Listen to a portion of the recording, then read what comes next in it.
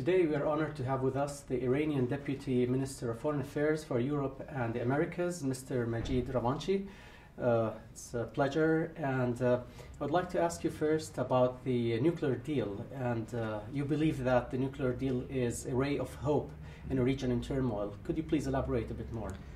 Thank you very much. Uh, we believe that the nuclear deal is, is something that uh, everybody should be happy that we have reached that deal because of the fact that uh, uh, we are uh, living in a very dangerous world uh, where you have wars, you have uh, terrorist activities, and by the nuclear deal, all of our attention will now be you know, devoted to working with, with others for the betterment of our region for uh, the betterment of world affairs, and Iran is ready to do its share when we reach a win-win situation for, for our nuclear program, uh, where both sides, both Iran and uh, its interlocutors, can claim victory for this deal.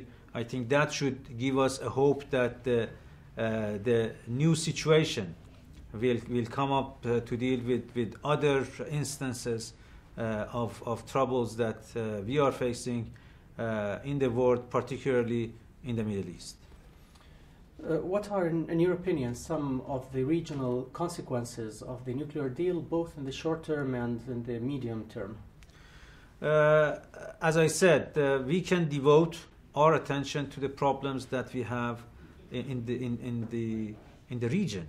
For instance, the region is, is suffering very much from the acts of uh, terrorism and extremism. So it is incumbent upon all the countries in the region to work together uh, to find uh, ways to uh, defeat uh, terrorism. Terrorism is not uh, only affecting one country. It is not directed against only one country. The whole world is being affected by, by, by terrorism. Therefore, as far as the region is concerned, we believe that all countries in the region and beyond should work together to, to, uh, to fight terrorism. There are other issues, there are other wars in our neighborhood, unfortunately. We need also to work with other countries in the region uh, to, to find ways, amicable ways uh, for, for, uh, for these uh, crises.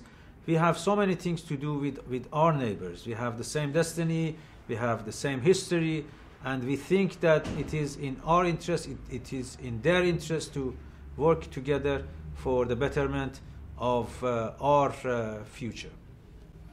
Um, how would you describe, uh, Mr. Deputy Minister, the current state of bilateral relations between Iran and Spain, and how can they be improved?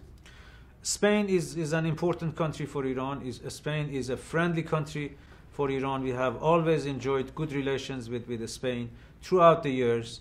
Unfortunately, due to sanctions, which we consider as, as uh, unjust sanctions, uh, economic uh, relations between Iran and Spain uh, have been affected.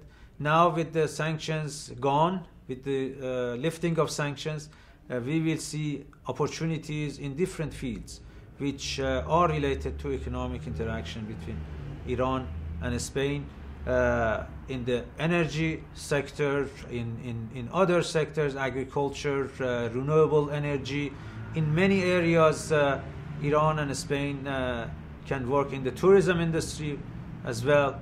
Uh, we believe that Iran and Spain can work together. We uh, want to have more investments in Iran, more transfer of technology in Iran, and we think that the market in, in Iran as well as the market in the region are, are sound uh, market or reasons for others to come forward and, and join us in the development of our neighborhood.